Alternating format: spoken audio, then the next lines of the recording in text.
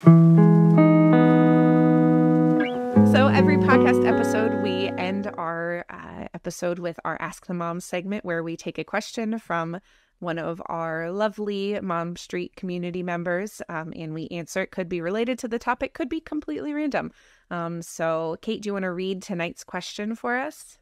Yes. So we have a family of five, two adults and kids ages 16, 13, and 10.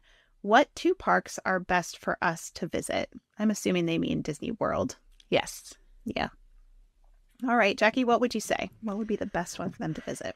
So I have a couple answers without any without having more details for this one. Um, my first question that I would ask this family is if they are thrill ride of thrill ride family or not, because I feel like that's going to make a big difference. Um, my default is almost always going to be Magic Kingdom as one of the parks that they should visit because I feel like you haven't, in my opinion, you haven't truly been to Disney World until you've been to Magic Kingdom.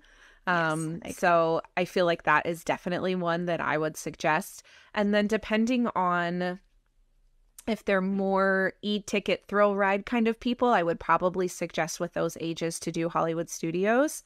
Um, if they like more of the dark rides and that experiences, or they like more of the food, then I would suggest Epcot. So it really would depend, but Magic Kingdom for sure, and then depending on the preference of the family, either Epcot or Studios.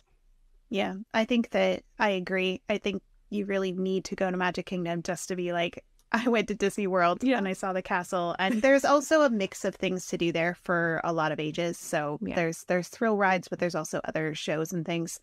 And 100% Hollywood studios, especially if they were thrill ride oriented, because that's where you find the majority of them. You also see things like um, Star Wars Galaxy's Edge and, and stuff like that, where it's like for that age range, they might be more interested in that. It's hard to know without knowing the family in particular Yeah. what they like. But yeah, I agree. Hollywood studios and Magic Kingdom would be my recommendations too. Yeah.